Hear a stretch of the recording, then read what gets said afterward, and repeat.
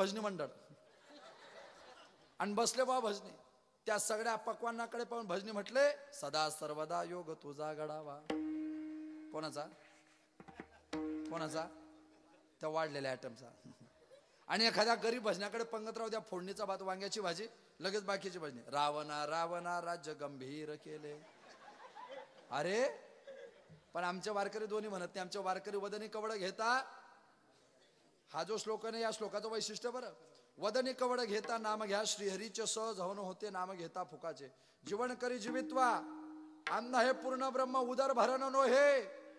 यज्ञ कर्म. या तोंड नावाच्या यज्ञामध्ये आहे हा यज्ञ कुंड आहे. या तोंड नावाच्या यज्ञ कुंडामध्ये घास नावाची आहुती टाकताना श्रीहरी नावाची रुचा म्हणा परब्रह्म प्राप्त झाल्याचा आनंद होतो हा वेदार्थ आहे. तुम्ही लक्षात घ्या. त्या श्लोकाचं वैशिष्ट्यच ते त्याची ताकद ती. आपण पाहत नाही तो भाग स्वतंत्र आहे. बर. मग या पद्धतीने आपण प्रत्येकाने तिथपर्यंत प्रवास करणं गरजेचं आहे. सगळे जेवायला बसले. अर्जुनाचं जेवण चालू. अर्जुन पहिला वाडा दुसरा वाडा तिसऱ्या वाड्याला जर गेले आणि अर्जुन सुभद्रेकडे पण मनातल्या मनात म्हटला ब्रिटिशियन मीन्स ब्रिटिशियन सौंदर्य म्हणजे सौंदर्यच. आणि जशी सुभद्रेवर नजर गेली तसा अर्जुनाचा तोल गेला. पठ्ठ्याने आमटीमध्ये बासुंदी टाकली. आता हे खाणे गाव देवाचं लक्ष गेलं की याचा रॉंग नंबर लागलाय. आता डायरेक्शन कोणाचं होतं? देवाचं मार्गदर्शन कोणाचं होतं? मग देवाने समजून सांगा ना तुझा अंदाज चुकलाय. देव बलराम दादाकडे गेले. दादा! म्हणे पाहतो संन्यासी कसा जेवतोय. बलराम दादा जवळ गेला. अभिनय होतो क्षमा करना ये रबडी आहे पुरी के साथ खाणी पडते. ये आमटी ये चावल के साथ खाणी पडते. मग अर्जुनाच्या ध्यानात आलं. आकडा आकडा चुकल्यामुळे नंबर चुकीचा लागला. पण मी सांगितलं ना की माणसाचं हिंमत को किंमत आहे. अर्जुन बलराम दादाला म्हटले नाही नहीं हम सन्यासी लोग ऐसा ही खाना खाते। हम लोग जो खाना खाते तो किसी चीज में रुचि नहीं रखते। महाराष्ट्र में तुकाराम महाराज क्या कहते काय खातो आम्ही का असं सांगते? बलराम दादा म्हणजे बघ रे केवढा मोठा साधू आहे त्याला खाण्यात पण चव नाही. देव म्हणे तुम्हाला चार वाजता समजे त्याला कोणात चव होती? तुमच्या हाताने ध्यानात येणार. तुम्हाला दुपारी चार वाजता समजेल त्याचा अंदाज. परिणाम चार वाजले. आणि अर्जुन झोपलेला. आता तू झोपायला आलेला होता का? बरं ती जागा झोपण्याची का? आता आपण कीर्तनात बसलोय. कीर्तन झोपण्याची जागा आहे का? कीर्तन झोपण्याची जागा आहे का? पण तरी घरी जितकी चांगली झोप लागत नाही तितकी झोप चांगली कुठं लागते?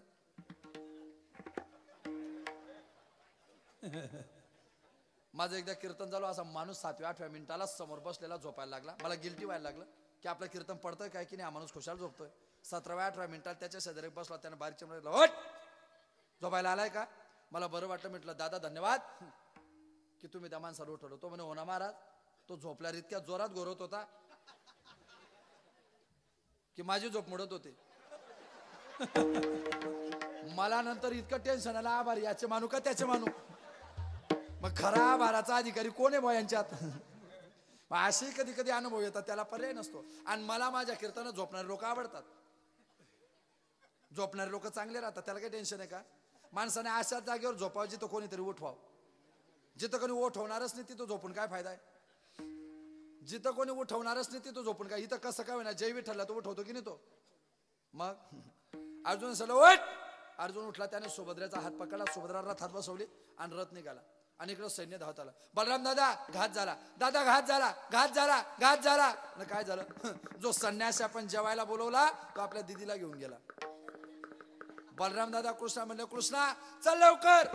कुठे? तो संन्यासी आपल्या दिदीला घेऊन गेला. कृष्ण हाडूच म्हटलं मी तुम्हाला सकाळीच बोललो होता ना तुम्ही कोणावर भरोसा ठेवतात दादा म्हटलं आगावपणा करू नको चल लवकर. देवरथ चालवायला बसले. बलराम दादा मागे बसले. अर्जुनाचा रथ पुढे चालला. बलराम दादाचं स्पेशलायझेशन कसं देव बलराम दादाचं वैयक्तिकीकरण धनुष्य बाणात का? गदा युद्धात आहे. गदा युद्धामध्ये बरं इतक्या लांबून गदा युद्ध जमेल का आता? जमणार नाही. म्हणजे पर्यायाने त्याला काय करावं लागेल? धनुष्य हातात घ्यावंच लागेल त्याला पर्यायच राहिला नव्हता आता. बर. घेतलं त्या बलराम दादाने धनुष्य. आता बलराम दादाच्या हातात गदा युद्ध करणाऱ्या माणसाच्या हातात धनुष्य बांधणं म्हणजे आर्टचा पोरगा सायन्सच्या पेपरला बसवणं. का रे तो आर्टला तीन विषय बॅग ठेवतो? आणि तुम्ही त्याला सायन्सला बसवताय तो तर चांदीसारखे डोळे करील. तो पुसदला आय टी आय करायला गेला आणि आय टी आय करून आला. इतका हुशार आहे तो आणि तुम्ही त्याच्यावर असा ट्राय करताय का? बर.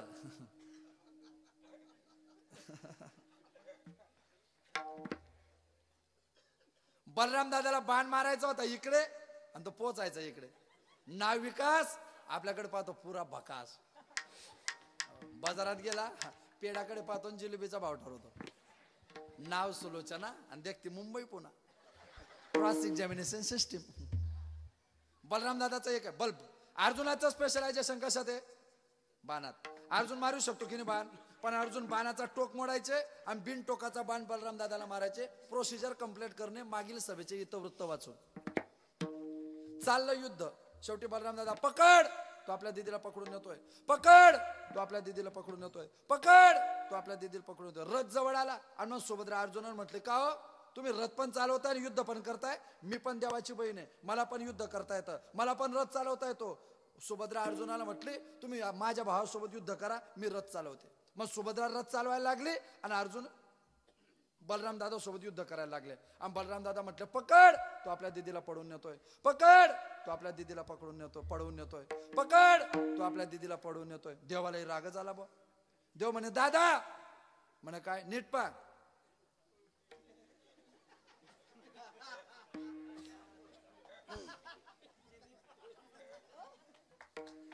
रथ कोण चालवतय? रथ कोण चालवतय? सुभद्रा. मग तोने आपल्या दिदीला पडून नेते.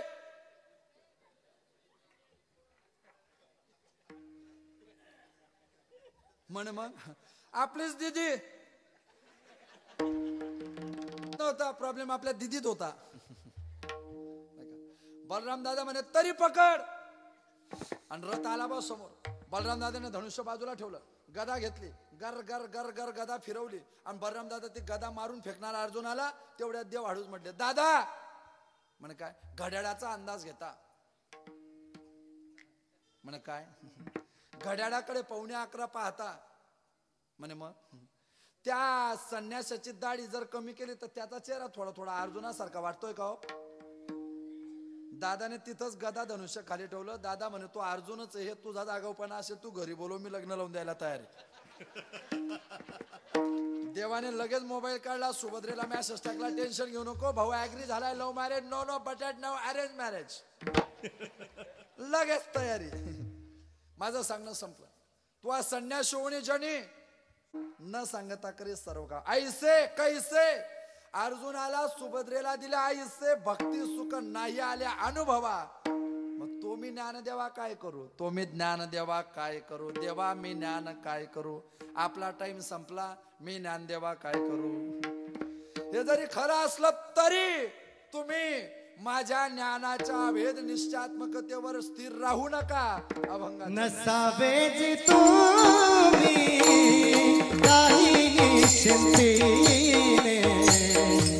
नसावे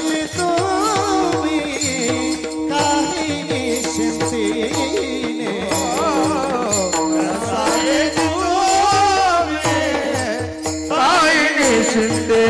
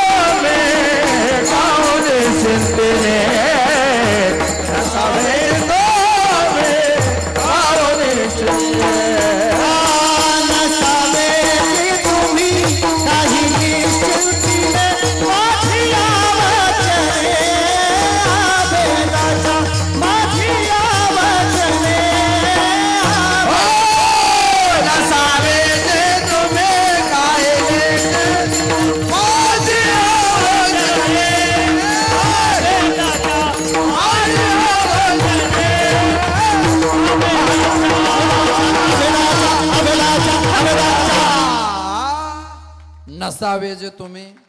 काही निश्चिंतेने माझी या वचने अभेदाच्या सप्ताह जितका मोठा असतो तितके मोठे गुणीजन असतात.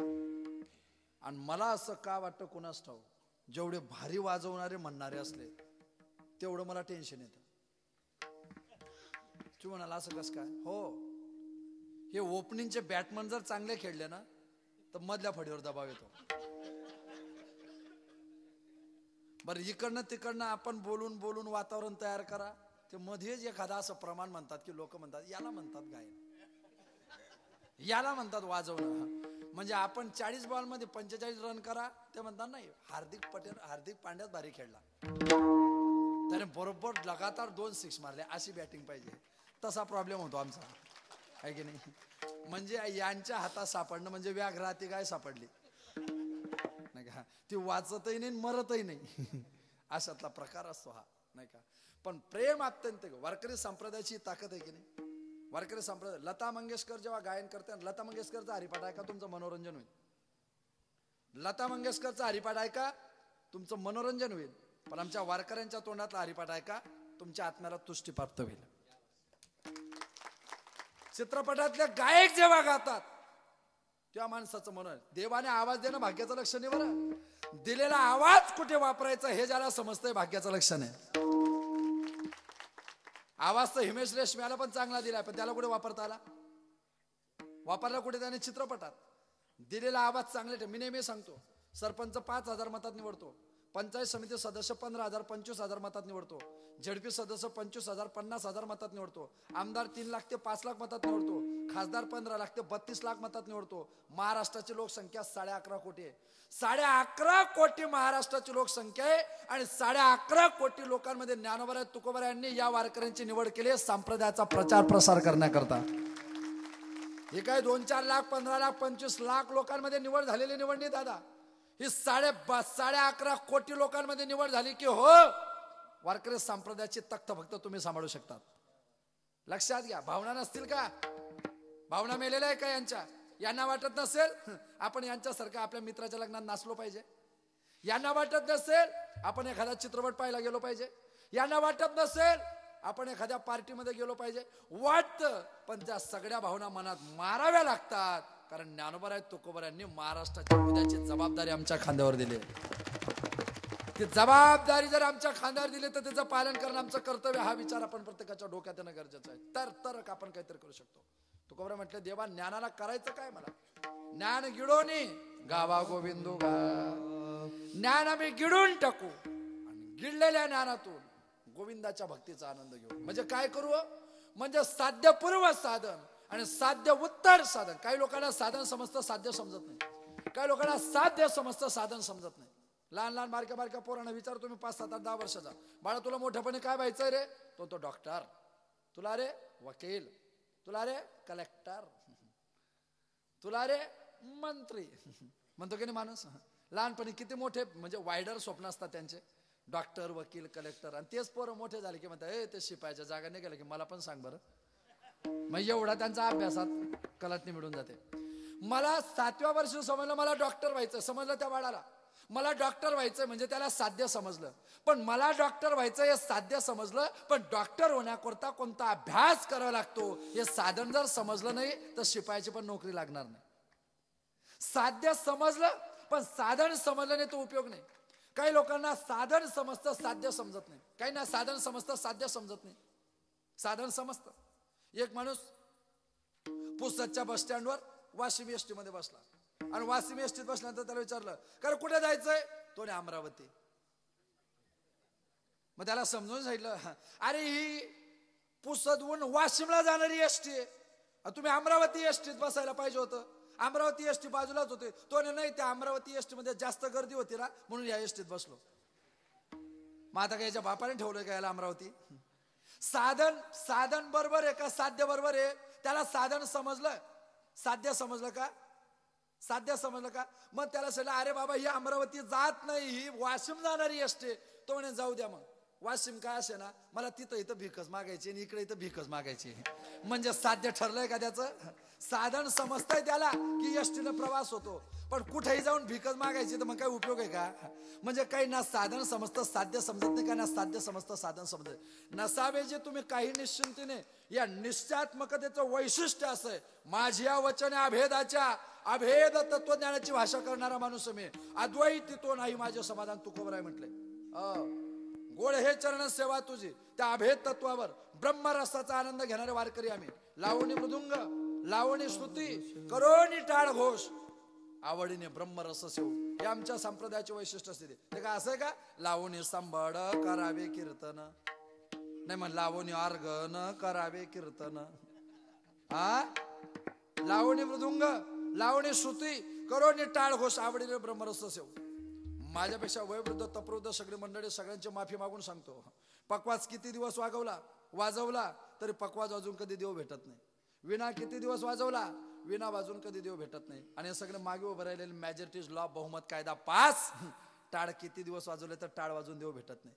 पकवाज वाजून देव भेटत नाही. टाळ वाजून देव भेटत नाही. विना वाजून देव भेटत नाही. पण कीर्तन संपल्यावर हे तिन्ही मला भेटतील हे त्याच्यापेक्षा जास्त खरं आहे. हे म्हणतील जडकेकर टाळ पकवाज विना वाजून देव भेटत नाही आमदा सोडून दे. पण आम्ही तिन्ही असल्याशिवाय तुझं कीर्तन सुटत नाही एवढं तरी ध्यानात घे. कीर्तन सुटत नाही हा तर पार्ट नंबर दोन आहे पण कीर्तन सुरूच होत नाही आमच्याशिवाय ध्यानात घे. नाही का? तरी मी माझ्या मतावर ठाम आहे. आपल्याकडे महिला लग्नात पतीचं नाव घेतात की नाही? ते उखाण्यात महिला पतीचं नाव घेतात की नाही? महिला लग्नात पतीचं नाव घेतात ना? लग्नात नाव घेतात. हा लग्नाला चार महिने झाले की मग नाव ठेवतात. होता ना असं? चार महिने झाले की मग त्यांचं नवीन गाथा पारायण चालू होतं. माझ्या मायबापे बरे नाही केले. पदरी बांधरे भिकाऱ्याच्या. माझ्या चौघे बहिणी नांदती सुखाने हे येडा आमच्या नशिबात. चार महिने झाले की महिला पती भेटावा याच्या करता नाव घेतात का? भेटलेला पती टिकावा याच्या करता नाव घेतात? पटकन. मी डबल बोलू का? महिला पती भेटावा याच्या करता नाव घेतात का? भेटलेल्या पतीच्या प्रीतीच्या प्रेमाची अनुसूतता अंतकरणामध्ये अविरलपणे तरळपणे अखंडितपणे प्रेम प्रीती वृद्धिंगतता अंतकरणाच्या हृदय पटलावर शेवटच्या स्पंदनापर्यंत टिकावी याच्या करता नाव घेतात. ऑप्शन थोडं मोठं झालं असेल तुम्ही म्हणा तू चालू दे. आम्ही ऐकतोच आहे. महिला पती भेटावा याच्या करता नाव घेतात का? भेटलेला पती टिकावा? टिकावा. पहिला पती भेटावा याच्या करता नाव घेत नाही भेटलेला पती टिकावा याच्या करता नाव घेतात. मग आमचे वारकरी टाळ पकवाज विना देव भेटावा याच्या करता वाजवत नाही. तो हृदयात भेटलेला देव शेवटच्या क्षणापर्यंत टिकावा याच्या करता वाजवतात. टाळ पकवाज विना ही देवाच्या प्राप्तीची साधन नाही. तर प्राप्त झालेला अभेद तत्वज्ञानाच्या देवाचा अनुभव घेण्याची साधन आहे. अभेदाच्या त्या अभेद तत्वाचा आनंद देणारी ही सगळी साधन आहे. त्या साधनाचा अवलंबन आम्ही करतो.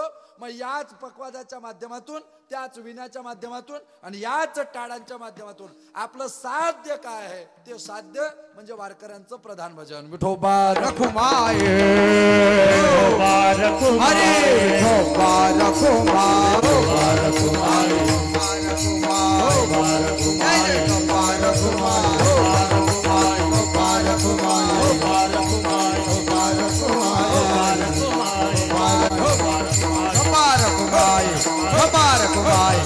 पार कुमार हो, हो, हो,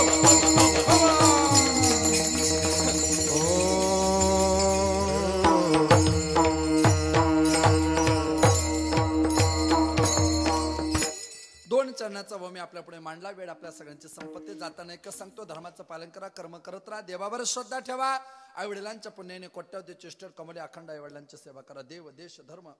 नीतिमत्ता टिकवण्याचा प्रयत्न कर. मी नेहमी सांगतो एखाद्या रस्त्याला छत्रपती शिवाजी महाराजांचं नाव द्या एखाद्या रस्त्याला राणा प्रतापांचं नाव द्या एखाद्या रस्त्याला पुण्यश्लोक कल्याबाई होळकरांचं नाव द्या एखाद्या रस्त्याला महात्मा फुलेंचं नाव द्या मला असं वाटतं रस्त्यांना महापुरुषांची नावं देण्यापेक्षा रस्त्यांना महापुरुषांची नावं देण्यापेक्षा त्या महापुरुषांनी जे रस्ते दाखवले त्या रस्त्यांनी चाला त्यांना आनंद वाटल्याशिवाय राहणार नाही. एखाद्या महापुरुषाने दाखवलेल्या रस्त्यावर जर चालायचं म्हटलं तर त्याचा परिणाम किती चांगला होऊ शकतो? यवतमाळ जिल्ह्यामध्ये खाण्यापिण्यामध्ये प्रसिद्ध असलेलं पुसद तालुक्यातलं बेलोरा बाडूबाबाने दाखवलेल्या रस्त्यावर चालायला लागलं तर तीन वर्षात भक्तीचा माडा उभा राहिला. साधूने दाखवलेल्या रस्त्याने जर चाललात ना दादा तर उद्याचं विश्व निर्माण करायची ताकद तुमच्याकडे. शाळा किती शिकाव? शाळेत तुम्हाला त्रिकोण चौकोन षटकोन काटकोन लघुकोण विशालकोन सगळेच कोण शिकवल्या जातील. पण उद्या समाजात कसं जगायचं असतं त्या जगण्याचा दृष्टिकोन वारकऱ्यांच्या कीर्तनात शिकवला जातो. दी फ्युचर आर्ट जगण्याची कला देणारं व्यासपीठ आहे. त्या व्यासपीठाचे आपण सगळेजण साक्षीदार आहात. ती ताकद आपण प्रत्येकाने डोक्यात ठेवा. ते वैभव आपण प्रत्येकाने डोक्यात ठेवा. स्वतःची ताकद स्वतः निर्माण करा. मी प्रत्येक बांधवाला सांगतो इथं बाजारात उसणं काही भेटत नाही स्वतः निर्माण करावी लागते ताकद. तेंडुलकर जसा सिक्स मारतो तसा लता मंगेशकरला जमत नाही. लता मंगेशकर जसं गायन करतात तसं ऐश्वर्या रायला जमत नाही. ऐश्वर्या राय जसा ठुमका मारते तसा तिच्या सासऱ्याला जमणार नाही. पण तिचा सासरा कोण बनेगा करोडपतीमध्ये जसा बोलतो तशी आपली हायती खपून जाईल तरी आपल्याला स्पीच थेरपीवर सुद्धा बोलता येणार नाही. स्पेशलायझेशन आहे ज्याचं त्याचं. ज्याचं त्याचं वैयक्तिकीकरण आहे. आपल्यासारखं आहे का? अकरावीला सायन्स चार विषय बॅक कॉमर्स तीन विषय बॅक आर्ट दोन विषय बॅक मग किमान कौशल्य. त्याच्यात मार्केटिंग फाउंडेशन कोर्स फेलच झाला तो. मग आपल्याकडे स्पेशलायझेशन आहे ना वैयक्तिकीकरण नाही. ते क्षेत्र आपण निर्माण करत नाही म्हणून आपल्याला फसगत आहे. मी नेहमी सांगतो ऐंशी टक्के पोरींच्या डोक्यामध्ये आगे आज एक मॅडनेस पण आहे मी मॅडनेस पणाच माहीत. ऐंशी टक्के पोरींची अपेक्षा आहे की होणारा नवरा नोकरीवाला पाहिजे. काय त्या नोकरीवाल्याचं? काय त्याचं? पुसदला फ्लॅट आहे त्याचा पस्तीस लाखाचा अठ्ठावीस लाख. तर लोन आहे माहिती आहे का तुला? त्याने रिटायर झाल्यावर पेन्शनर हप्ते फेडले. ते मम्मी जास्त खतरनाक आहे अजून. आम्ही ना बाई हुंडा गेला तर चालेल पण नोकरीवालाच पाहू. हरकत नाही. नोकरीवाला पा पण तो डबल पी जी तुझी के जी तीन वर्ष बसली. दहावीत तीन विषय नापास आहे. तुझी पोरगीन कसं काय नोकरीवाला भेटेल तिला? हा तर अंदाज पाहिजे की नाही? तुझ्या पोरीला एक दिवस दादर निंदायला नेली तर तिने अख्खे दादर उपटली गवत जसंच तसं ठेवलं. नंतर ध्यानात आलं हिला काय जमतंय? शेतीतलं काही समजत नाही कशाला शेती पाहिजे? शेतकऱ्याला द्यायची म्हटलं की पोरींच्या बाप म्हणतात मुलाकडे जमीन किती म्हणजे शेतकरी शेती असली तर नोकरी पाहिजे नोकरी असली तर शेती पाहिजे. मग दोन्ही नसलेले पोरं वाया जातील का? म्हणून पोरींच्या बाप बायोडाटे काढतात पोरांच्या बापांना बायोडाटाची गरज नाही. पोरांच्या बापांना बायोडाटाची गरज नाही त्यांचा पोरगा मित्राच्या लग्नात हळदीच्या दिवशी रात्री दारू पिण्यावर जेव्हा नाचतो तोच त्याचा बायोडाटा असतो. तो काय इतका चांगला आहे का मग? त्यालाही स्व माझी बहीण मी दारू पिण्याला देईन का हो? इथं बसल्यापैकी एक पोरगा उभा राहा कोणी एक पोरगा. आणि त्याने सांगा हो माझी बहीण मला दारू पिण्याला द्यायची आपली बहीण आपण दारू पिणाऱ्याला देऊ का? देऊ का? मग आपली बहीण जर आपण दारू पिणाऱ्याला देणार नाही तर दुसऱ्याने त्याची बहीण मी दारू पिणारा असताना मला का द्यावी? का द्यावी? मौत से डरता नहीं शराब पीने वाला जिस दिन तुझे मौत आएगी मिलेगा नहीं पानी पिलाने वाला बोतल पे बोतल पीने से क्या फायदा? शाम पी आधी रात को उतर ही जाएगी। कसम बालू बाबा के प्याला पीले, इस दिन सात दिन हरि नाम का तो पगले तेरी ज़िंदगी सुधर जाएगी। मेरे मार्ग पे चल के तो देख, मेरे मार्ग पे चल के तो देख, तेरे लिए मोक्ष का भंडार ना खोल दू तो मेरा नाम भी भगवान नहीं। मेरे लिए कुछ पैसा दान दे के तो देख, तेरे लिए कुबेर का भंडार ना खोल दू तो मेरा नाम भगवान नहीं।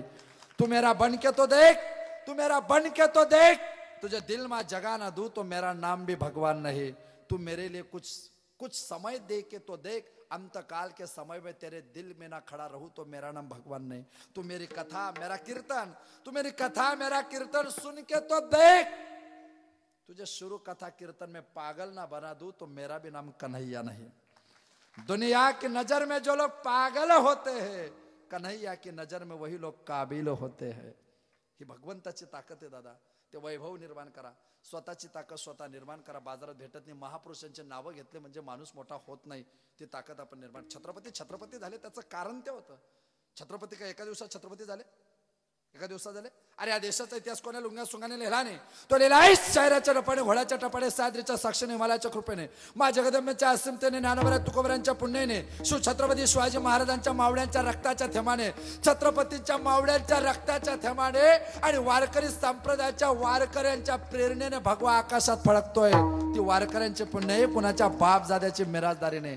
ते वैभव निर्माण केलंय ज्ञानोबऱ्या तुकोबऱ्यांच्या परंपरेने. ते वैभव निर्माण केलंय. या वारकरी संप्रदायाच्या अस्मितेने. त्या अस्मिता टिकवण्याकरता तुमचं माझं चैतन्य टिकलं पाहिजे. त्या अस्मितेचं जाण आपल्या प्रत्येकाच्या डोक्यात आली पाहिजे. मोठ्याचं नाव घेताना मोठ्यासारखं जगता आलंच पाहिजे. ते वैभव मला निर्माण करता आलंच पाहिजे. दोन दिवसापूर्वी सगळ्यांनी उघड्या डोळ्यांनी पाहिलं. हिंदुस्थानाचं चित्र काय झालं? पाठीमागून वार झाला. अरे युद्ध करता करता पन्नासच्या ऐवजी शंभर जवान शहीद झाले असते ना आम्ही आमच्या मनाला समजवलं असतं की भारत मातेचा आचल झाकण्याकरता आमचे जवान शहीद झाले. आम्ही समजवलं असतं आमच्या मनाला की या भारत मातेच्या अब्रू वाचवण्याकरता या भारत मातेच्या हृदयावरचा पदर सावरण्याकरता या भारत मातेचा आचल टिकवण्याकरता माझ्या शंभर जवानांनी प्राणाची आहुती दिली. पण स्फोटकं आलीच कशी? आलीच कशी? सेव्हन्टी सिक्स बटालियन शहात्तर नंबरचं बटालियन बाहेर निघतंय.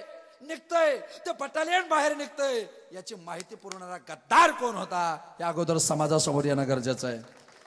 बटालियन बाहेर निघाले याची माहिती त्याला माहिती कशी पडली? अरे साडेतीनशे किलोचा आरडीएक्स एखाद्या गाडीमध्ये येतं आणि ती गाडी त्या मिलिटरी मॅनच्या गाडीपर्यंत पोहोचतेच कसे सिक्युरिटी काय करत होते?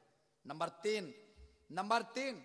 मिलिटरी जेव्हा जम्मू काश्मीर सारख्या अति संवेदनशील भागातून चालते तेव्हा त्यांना एअर डिफेन्स का न होता? एअर डिफेन्स का न होता. सेव्हन्टी सिक्स बटालियन जेव्हा चालत होतं ज्यावेळेस असे बटालियन जेव्हा निघत असतात तेव्हा शासनाचा नियम आहे की त्यांना एअर डिफेन्स असतो. म्हणजे आकाशातून हेलिकॉप्टर सुरक्षा ड्रोन कॅमेऱ्याद्वारे पाहत असते. त्यावेळेस एअर डिफेन्स का नव्हतं गद्दार कोण होता? उत्तर आली पाहिजेत. गद्दार कोण होता? याची उत्तर आमच्यापर्यंत पोहोचली पाहिजे. सगळ्यात महत्त्वाचा मुद्दा पुढारी मेला तरी देशाचं नुकसान होत नाही. त्याच्या गाडीला जामर असतं. मग त्याच्या गाडीला जर जामर असतं तर मग आमच्या देशाच्या सैनिकांच्या गाड्यांना जामर का लावल्या जात नाही? उत्तर पाहिजे आम्हाला महाराष्ट्राला नाही आम्हाला हिंदुस्थानाला उत्तर पाहिजे. Attack is the best policy of defence सूत्र जगवणारा माझ्या देशाचा जवान. ज्यावेळेस मिलिटरीमध्ये भरती होतो तो विचार नाही करत. अरे एखादा जवान जेव्हा या माती करता शहीद होतो एखादा जवान जेव्हा या महाराष्ट्राच्या माती करता शहीद होतो एखादा जवान जेव्हा या हिंदुस्थानाकरता शहीद होतो तेव्हा त्याच्या घरावर त्याच्या आईवर त्याच्या पत्नीवर त्याच्या पोरावर त्याच्या भावावर त्याच्या बहिणीवर त्याच्या बापावर त्याच्या गावावर काय बितत असेल? मला असं वाटतं या प्रश्नाचं उत्तर बेलोरा गाव चांगलं देऊ शकतं कारण या गावचा सुद्धा एक जवान शहीद झालेला या माती करता या या मातीचा सुद्धा एक जवान या माती करता शहीद झालाय. आणि मग आम्ही पाहतो चित्त थरारक आणि चित्त विदारक स्थिती निर्माण होते. अंगावर रोमांच उभे राहतात की या देशाची परिस्थिती काय? आमच्या देशाचा तीस बत्तीस वर्षाचा पोरगा हातात एके फोर्टी सेवन घेतो हातात एके फिफ्टी सिक्स घेतो हातात एल एम जी घेतो हातात लाइट मशीन गन घेतो हातात थ्री नॉट थ्री घेतो आणि मायनस टेम्परेचरमध्ये जिथं थंडीमध्ये आम्ही स्वेटर घातल्याशिवाय घराच्या बाहेर निघत नाही तिथं आमचा जवान अंगावर बर्फाचंच स्वेटर घालून या मातीचं संरक्षण करतो. दादा आमच्या देशाचा जवान जेव्हा संरक्षण करतो तेव्हा तो पापी आतंकवादी या देशावर आक्रमण करतो. ऐकता माझं? ऐकता माझं? इथून पुढे इथून पुढे. माझ्या भावना तुम्हाला पटणार नाही कदाचित पण मी तुम्हाला हात जोडून विनंती करतो. इथून पुढे इथं बसलेल्या प्रत्येक वारकऱ्याने संकल्प करा. तुमच्या मित्रांना तुमच्या नातेवाईकांना सांगा की भारतातल्या कोणत्याही तीर्थक्षेत्रावर जा पण वैष्णव देवी आणि अमरनाथच्या तीर्थयात्रेला इथून पुढे जायचं नाही. कारण वैष्णव देवी आणि अमरनाथच्या यात्रेवर आमच्या पैशावर जर आतंकवादी पोचल्या जात असतील तर परमेश्वर मला माफ करेल. ते दोन तीर्थक्षेत्र नाही झाले तरी चालतील आम्हाला. चालतील आम्हाला. आम्ही सहन करून घेऊ. देव तिथं काय उत्तर देईल आम्हाला काय विचार आम्ही सहन करून घेऊ. सांगू देवाला सांगू आम्ही देवाला की आम्ही वारकरी आहोत वारा नसे गा पाहिले द्वारका परिणय तुका पंढरीच्या. आम्ही अमरनाथला जातो तिथं आम्ही त्यांच्याकडून खाद्यपदार्थ घेतो तिथं आम्ही सगळं घेतो. आणि तिथून जर आतंकवादी पोचल्या जात असेल तर काय? आज आमच्या हिंदुस्थानात त्या प्रत्येक मुस्लिम बांधवाची अशी धारणा तयार झाली की हम निंदा सहन नाही करना चाहते लेकिन आतंकवादी को जिंदा देखना नाही चाहते. तुम्ही पहा भारतभर कितीतरी मुस्लिम बांधवांनी पाकिस्तानचा ध्वज पेटवला. कारण त्यांना सुद्धा लागतंय की नाही आम्ही निंदा का सहन करावी? आम्ही निंदा सहन करणार नाही पण आतंकवादी जिंदा देखणार नाही चाहते त्यांच्यामुळे आमची बदनामी होता कामाने ही धारणा आज तयार झाली देशातल्या माझ्या बांधवांची. ही विचारधारा आमच्या डोक्यात आली पाहिजे. आमच्या देशाचा जवान सीमेकरता मरायची तयारी ठेवतो. शत्रू आक्रमण करतो एखादी गोळी हाताच्या आजूला बाजूला जाते. आणि मग तो विचार करतो अरे बस!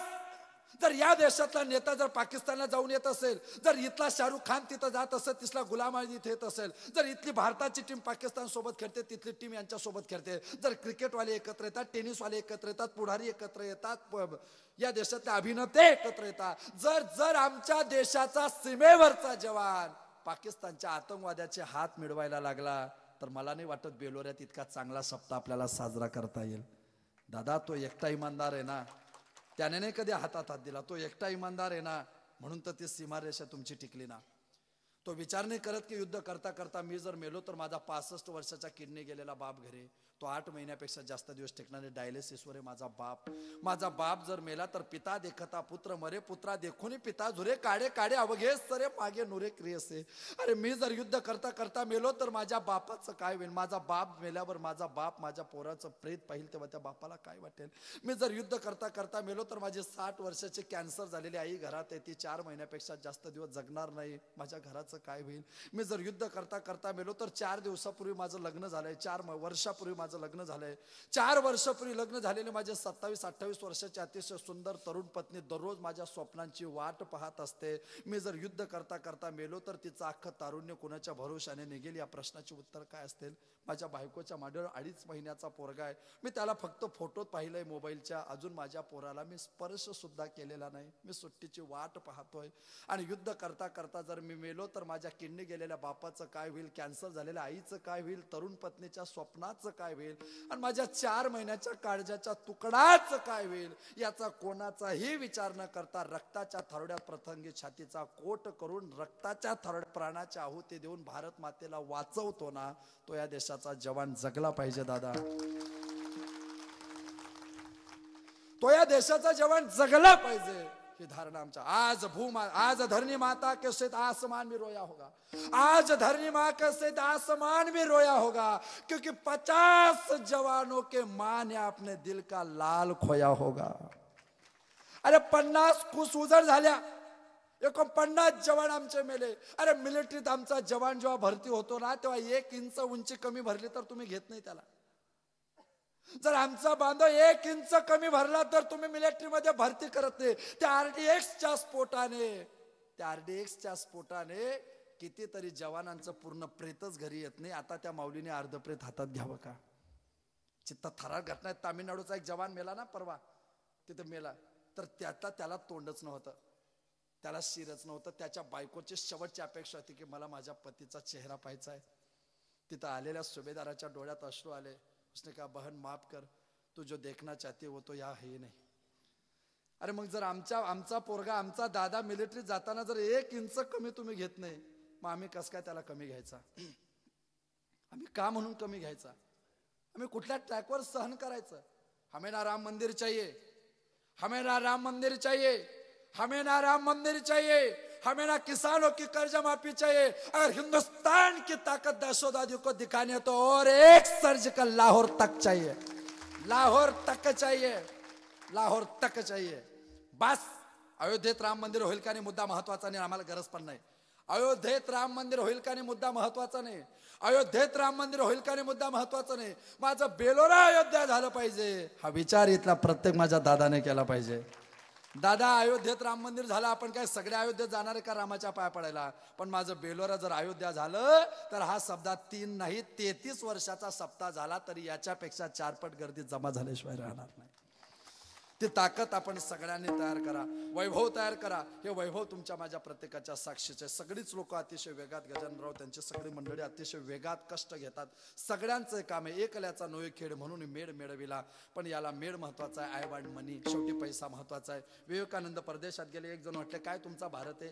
रेल्वे स्टेशनवर भिकारी बस स्टँडवर भिकारी विमानतळावर भिकारी मंदिरात भिकारी कोणी जिथं पाहत तिथं भिकारी. आमच्या अमेरिकेत एक पण भिकारी नाही. विवेकानंद नंद म्हटलं बरोबर आहे. तुमच्या अमेरिकेत एकही भिकारी नाही. कारण तुमच्या अमेरिकेतल्या भिकाऱ्यांना माहिती आहे की हे भिकारी किती श्रीमंत असले तरी देणारे नाही. माझ्या भारतात जागे जागेवर भिकारी आहे. माझ्या भारतात कुठेही मागणारे आहे. कारण कुठेही देणारे आहे. म्हणून माझ्या देशात देणारे माझ्या देशाची श्रीमंत इंडिया इज रिच भारत हा श्रीमंतांचा देश आहे. पुन्हा त्याच्यात प्रॉब्लेम आहे. India is poor but Indian is not poor Bharat गरीब आहे भारतीय कुठं गरीब आहे म्हणून ही धारणा आपण लक्षात घ्या. हा कार्यक्रम आपण एवढा भव्य दिवस स्वरूपात त्या ठिकाणी उभा केला पुन्हा सगळ्यांना सर्वकाल सर्व पद्धतीच्या शुभेच्छा देतो. आदरणीय श्रोत्र भक्तीपर्यंत गणेशानंदजी महाराजांचा आग्रह त्या प्रेमातून मी आपल्यापुढे पोहोचलो. गेल्या वर्षी त्यांनी मला खूप आग्रह केला होता पण त्याही वर्षी माझं ॲडजस्ट झालं नाही. आपल्या सगळ्यांपुढे या ठिकाणी पोहोचलो. भजन सम्राट सगळ्यांना सुप्रजित जुन व्यक्तिपद दिगंबरजी महाराज कुठे या ठिकाणी उपस्थित आहे? परिचित परिचित सगळी महाराज मंडळी. आणि वारकरी संप्रदायाचं उद्याचं खऱ्या अर्थाने नेतृत्व सांभाळणारी ही चारही माणसं या ठिकाणी एकाच ठिकाणी एवढे सगळे एकत्र येणं B J P Rashtrawadi Shiv Sena आणि काँग्रेसचे प्रमुख नेते एका व्यासपीठावर दोन तास बसवणं एक वेळ सोपं पण एवढे महाराष्ट्रातील नावाजलेले कलाकार एका व्यासपीठावर आणणं सोपं नाही बरं. सोपं नाही बरं कठीण आहे. पण ती किमया आपण सगळ्यांनी केली. आदरणीय श्रोत्रभक्तीपर्यंत तुकाराम महाराज असतील आदरणीय श्रोत्रभक्तीपर्यंत भरत महाराज असतील दोन्हीच्या नाद ब्रह्माची ताकद आपण पाहतोय की दोन्हीच्या बोटातली ताकद आपण पाहतोय. समाज समाज आहे दादा त्यांना काय करायचंय? समाजाचं परिचय मी एकाच हनुमान बापू शिंदे सगळ्यांना माहिती आहे महाराष्ट्रातले प्रसिद्ध पक्व जाधव त्यांचं एक वाक्य लोक वाजवणाऱ्याच्या बोटावर म्हणणाऱ्याच्या कंठावर आणि कीर्तनकाराच्या होटावर तोपर्यंत प्रेम करतात जोपर्यंत ताकद असते. उद्या जर त्यांच्या बोटातली ताकद गेली ना दादा कोण भरत पठाडे कोण तुकाराम पांचाळ आपल्या लक्षात पण राहणार नाही. उद्या जर चुकून माझ्या एखाद्या दादाच्या कंठातली ताकद गेली ना ज्या ढाले गुरुजींच्या रवी महाराजांच्या दिगंबर गुरुजींच्या कंठात ते ताकद गेली ना तर कोण ओळखणार नाही? उद्या जर जडकेकरला जर घशाचा कॅन्सर झाला तर कोण जडकेकर ओळखणार नाही? ज्या जगन्नाथांना पवारांचे कीर्तन घेण्याकरता लोक चार चार तास बसायचे दोन तासाचं कीर्तन घेण्याकरता लोक चार तास तारीख घेण्याकरता बसायचे अण्णांची वाणी गेली तर लोक चार चार महिने फिरून पाहत नव्हते डोळ्याने पाहिले आपण सगळ्यांनी. समाजाची परिस्थिती कठीण आहे. आणि म्हणून याची जाणीव आपण सगळ्यांनी लक्षात घ्या. ये भगवान भी क्या चीज होती है? ये भगवान भी क्या चीज होते बराबर दिल और दिमाग के बीचों बीच आदमी को गला देती है। ये भगवान भी क्या चीज होते बराबर दिल और दिमाग के बीचों बीच आदमी को गला देते ऐका चित्रपटातले गायक जेव्हा गातात तेव्हा त्यांचं गाणं इथून सुरू होतं तर ते मस्तकामध्ये प्रवेश करतं. पण माझे वारकरी जेव्हा गातात ना तेव्हा ते मस्तकात नाही तर ते हृदयाचा ठाव घेतात कारण हृदयात देव राहतो मस्तकात राहत नाही. म्हणून हृदयातल्या देवाचा ठाव घेण्याची ताकद. Life is sing but at singing या सूत्राचं सूत्रत्व टिकवणारे माझे सगळे गुरुबंधू म्हणजे या ठिकाणी उपस्थित आहे. आपण सगळ्यात प्रकाशवाणीतून ज्यांनी मला चित्रफित केलं ते आपण सगळे माऊली सावून सिस्टीम सगळ्यांना सर्वकाल सर्व पद्धतीच्या शुभेच्छा देतो. कोणीच जागा शेवटची सूचना होईपर्यंत सोडायची नाही. सगळ्यांनी शिस्तीचं पालन करायचंय उद्या सकाळी कलशपूर्तीच्या संबंधात काही सूचना असतील तोपर्यंत कोणी जागा सोडणं तो जागा सोडेल. जो जागा सोडेल त्याला त्याच्या शेजारी बसलेल्या माणसाची शपथ आपल्या सांगा उठू नको तुझ्यात माझा जीव आहे म्हणून कोणी जागा सोडायची नाही जितनी रहा के ते तुम लोगों ने मेरे बारे में उतनी तो कोई बढ़िया बात नहीं ये तो आशीर्वाद है तुम्हारे जैसे माँ बाप का और इन्हीं महाराज लोगों का वरना मुझमें भी कोई बढ़िया बात नहीं धन्यवाद दस्तू ज्ञानेश्वर ज्ञानेश्वर जय जय विठाल मुक्ताबाई. मुक्ताबाई मुक्ताबाई आदि शक्ती मुक्त ओ मुक्ताबाई मुक्ताबाई. आदि शक्ती बोला बोला हात वर करा सगळ्यांना. सगळ्यांची मुक्ताबाई